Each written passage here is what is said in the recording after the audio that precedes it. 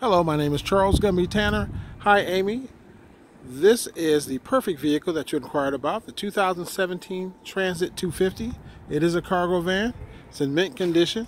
This is these are the options that are on the vehicle. It only has 38,000 miles on it. This is the inside of the vehicle. As you can see, you can put half a country in here. It's automatic transmission. It's in mint condition, not a scratch on it. Not only that, This is a very clean vehicle. And it has a clean Carfax report. And as you can see here, it's a one owner, one owner vehicle.